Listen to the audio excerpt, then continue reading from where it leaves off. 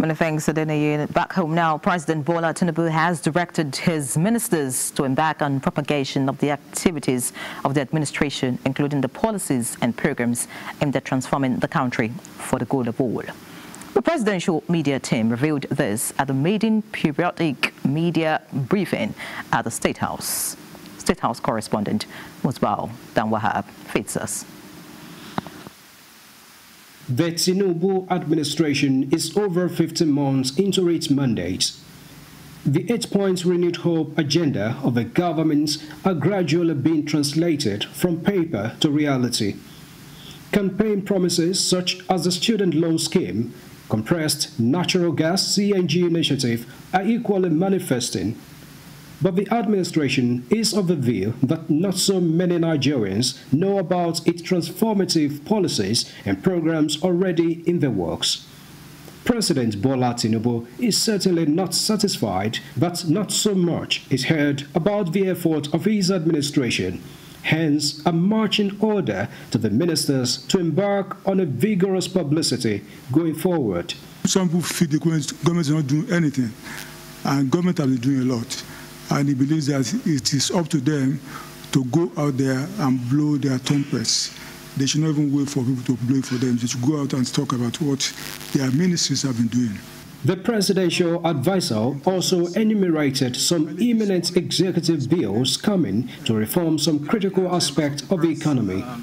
These include the National Identity Management Commission's Amendment Bill, which seeks the inclusion of foreigners on its system if the National Assembly passes that bill, it provides that all everybody living in Nigeria, foreigners, all of them will now be registered and be given NIN, especially once you are you are doing some work here and you are earning income, you will be registered and be given NIN so that you can be taxed. Your NIN will give you your the kind of tax identity, and you can also be taxed. You come under our our tax uh, structure. The government is also aiming to lay emphasis on the national currency as against dollarization of the nation's economy. This is to be done with some adjustments to the operating laws of NIMASA and the Nigeria Port Authority. That all their fees, charges, levies, fines, and other monies accruing to them and payable to those agencies may now be paid in Naira at the applicable exchange rate.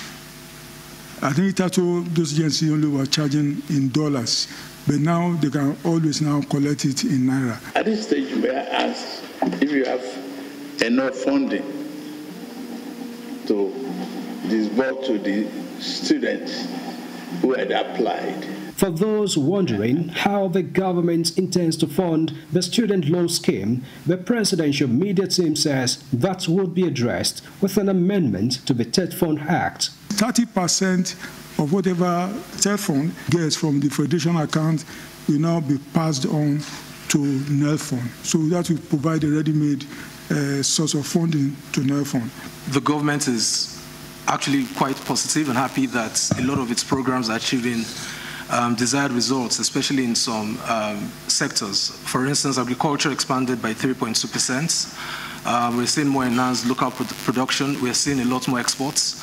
Um, the same things with the telecommunications industry, which has expanded by about 9.1% because of new investments in both digital infrastructure. Um, for instance, they're laying fiber optics across the country, and um, also, you know, investments in new new areas in technology.